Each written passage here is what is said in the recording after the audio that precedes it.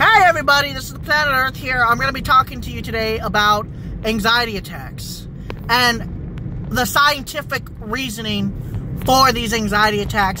What I've come to the conclusion to, what my fiance has told me, and what I've come to learn from this, that even though, of course, during an anxiety attack, I will still think that I am for some reason dying, I'm going to explain physically what's going on in the actual body, which nobody's really ever talked about. So, when, okay, the buffer system, scientifically, you need your heart, your lungs, and your kidneys. The buffer system. So, with this buffer system, if you start increasing your heart rate, you have to increase your lungs to breathe in more and to breathe out more and breathe in more and breathe out more. But because of the fight or flight response that kicked in, which released adrenaline into your body. So because it released adrenaline into your body, this is what happens when you release too much adrenaline in your body. So when the body is in fight or flight mode, releases too much adrenaline inside the body, what ends up happening is your heart rate increases really fast, right? You have a panic, you're like, oh my god, oh my god, you know? So what happens is, is the body compensates for the heart rate increase when it's not in actual physical danger, but it's still in virtual physical danger, but it's very real, by the way. Just like you're having a heart attack without the chest pain. Your lungs have to go up and down faster because your heart has increased. Hence, you need more oxygen to your your body because your heart rate increased because of the adrenaline release on your body. So because that adrenaline release is releasing that chemical adrenaline to the heart, it's causing it to beat very rapidly in some cases or faster than normal, which increases blood pressure, which increases respiratory rate. Now, because you're breathing fast, you start panicking about breathing fast and about that heart rate increase, so you breathe too fast. And because you breathe too fast, guess what? Now you're causing an imbalance in your body, your physical body, in your respiratory area. You're causing an imbalance. Now that you're breathing too fast, abnormally, you might actually be breathing too fast and you're giving your body too much oxygen and not enough dioxide is either leaving or coming in. So because this are, are going out. So now that you're breathing in too fast, your body's building up too much carbon dioxide. While you're breathing out and in too fast. So because your body's breathing in too fast, or breathing out and breathing in too fast, you're getting too much oxygen at faster rate than the body can give it to the heart and give it to the rest of the body. So now you got too much oxygen in your system, but not enough dioxide. So now you start feeling the tingling. And you start feeling that tingling and the, the, the tingling sensation. And then it gets worse. And then it keeps worse. That's why they tell you to breathe in a paper bag. Because now that I know this, which I didn't know until now, until yesterday, so the buffer system is compensating. So if you're having a hard time breathing now, guess what's going to happen? Now the heart rate is going to go even higher. Because not only is the adrenaline kicked in, but now your buffer, aka your lungs, are trying to figure out what the hell is going on. So now you're breathing rapidly. But you're not getting those vital nutrients to the increased heart rate. So now that your heart rate's increased, now you're going to be kind of breathing faster, which will cause an imbalance because the adrenaline plus the breathing rapidly because of the heart rate increase. And the only reason you're breathing faster is because of the heart rate increase, which then puts you into a full panic mode. Which sends even more adrenaline and the, the vicious cycle continues while you're having this attack. And until you get your breathing down, even though it's hard because of the way it feels, uh, you won't have you won't stop your panic attack easily. Eventually, the body will eventually adapt, adapt.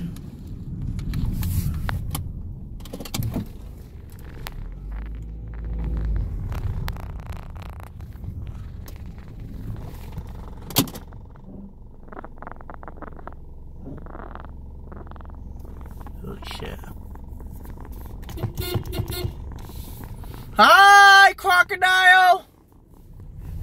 Look at you with your big ass teeth. It's cold. How the hell are you out here? Um, so with the buffer system, it's compensating. So everything's compensating each other, and that's the reason why you get anxiety attacks. And that's the reason why you feel anxious. Now, the reason why you may feel anxious but don't get an anxiety attack is because even though you are anxious, your body's in a heightened mode, which means you're slightly releasing a little bit of adrenaline. So you will be very anxious from that adrenaline rush. Which is fucking amazing now I know this. So your main cause in general when you start having a panic attack, when your body senses that fear, you're going to realize that, oh my God, this is real. This is happening. Guess what? You are having a panic attack because your body released adrenaline into your system, which caused your heart rate to increase. But because your heart rate increased, your respiratory rate increased, which causes you to breathe, and then you start breathing abnormally, and then you start freaking out because you're breathing abnormally, and you're like, you're like, oh my god, oh my god. And, and and then and then the heart rate increases because now you're freaking the hell out. So more adrenaline's coming in, and then boom, panic attack. How does a benzodiazepine work for ben uh, for acute panic attacks? Well, this is what happens when a benzodiazepine gets to those receptors. In general, rumble strip. When when the benzodiazepine gets into the GABA receptors, it stops. It helps at least. Well, no, in an emergency situation, I was in an emergency situation once. And even when I had a benzo in me, my heart rate was still high as hell.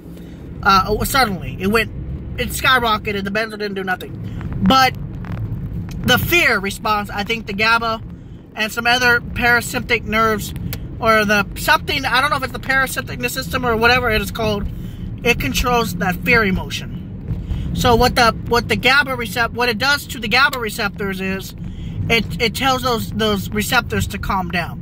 So in turn from that calming down, it, it, you know, it calms the brain down physically, slows the reaction of whatever you're going through down enough to cause you to relax, which will cause your respiratory. Well, well, benzodiazepines are known as a CNS depressant. It can depress your system, especially if you take it with alcohol.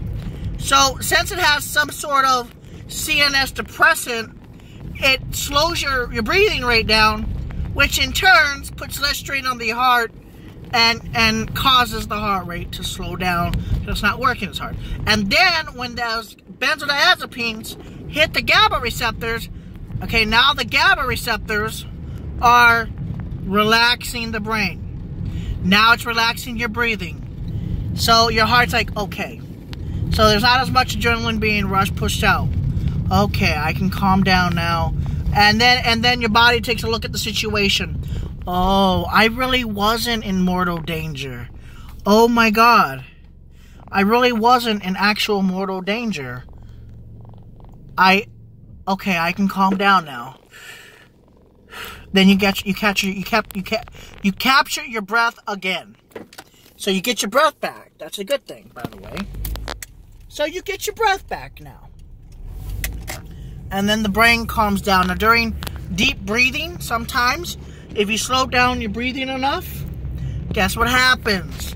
If you slow down your breathing enough, you can cause your panic attack to stop or slow down.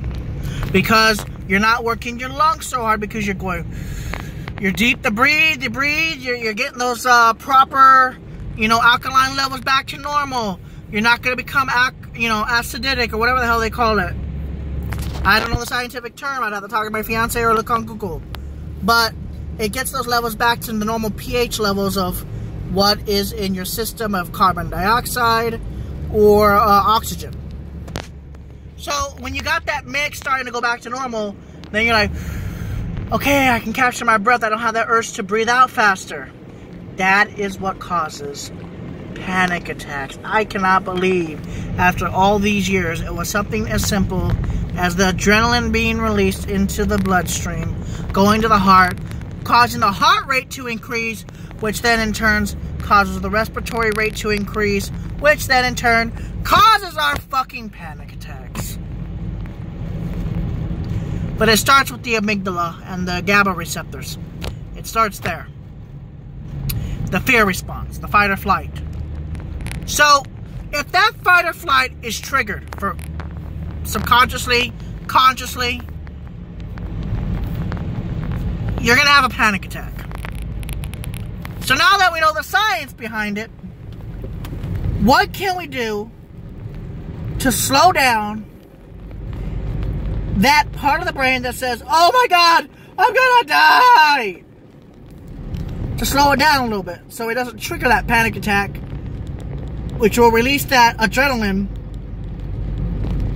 which will increase the respiratory rate, which will then increase your anxiety and produce even more adrenaline, which will increase the respiratory rate and the heart rate, and then cause you to have a panic attack.